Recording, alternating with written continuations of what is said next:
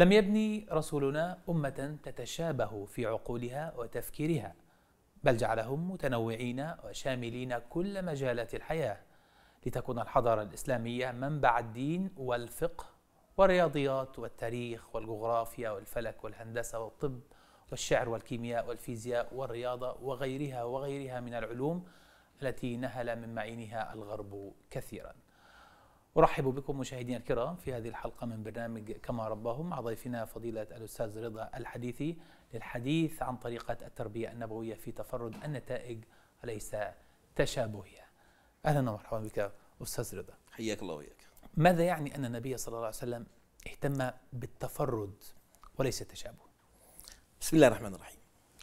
ابتداء كلمة التشابه وكلمة التفرد تعكس أزمة حقيقية لمسناها وشاهدناها ولذلك كانت المنهجية النبوية هي الإجابة الحقيقية لهذه الأزمة. نحن الآن عندما نريد أن نؤسس بناء تربويا نضع أهداف تربوية. نعم. ونريد أن نحققها في الجميع. ونكتشف بعد محاولات ومحاولات أنها لم تتحقق. في حديث يرويه سيدنا الإمام علي في صحيح البخاري يقول ما أكثر ما كنا نقول دخل رسول الله وأبو بكر وعمر. جاء رسول الله وأبو بكر وعمر. ذهب رسول الله وأبو بكر وعمر. في المصطلح التربوي المعاصر نسميه المعايشة التربوية. نعم. المعايشة التربوية أكثر شخصيتين رافق النبي طيلة حياته هم وزيراه هم أبو بكر وعمر سنين طوال. يعني سيدنا أبو بكر من اللحظة الأولى للبعثة وسيدنا عمر من السنة الخامسة للبعثة. لكنهم وزيراه المرافقان. لكن النبي عليه الصلاة والسلام المربي الأعظم لم يحولهما إلى نسخة واحدة.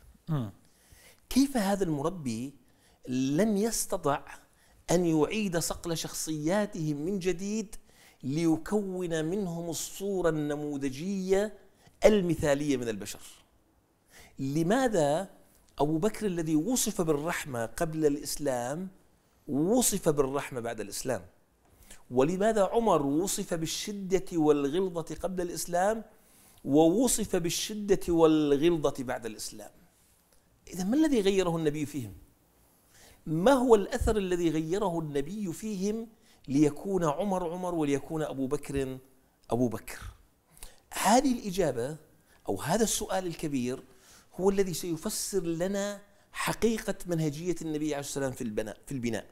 هل كان النبي يبحث عن صورة نموذجية لأهداف تربوية محددة يريد أن يصنعها في الجميع فصنعها عند الجميع؟ ولا الأمر غير ذلك؟ الحقيقة حين نراها سندرك أن المنتج النهائي يفسر لنا آلية ومنهجية التربية. المنتج النهائي يقول النبي كما ذكرنا في جلسات سابقة أرحم أمتي بأمتي وأشدهم في أمر الله. قمة الرحمة وقمة الشدة رغم أنهما تخرجا من مدرسة تربوية واحدة. م. هذا يعني أن المنهج النبوي يخرج أو يخرج لنا أناسا متفردين.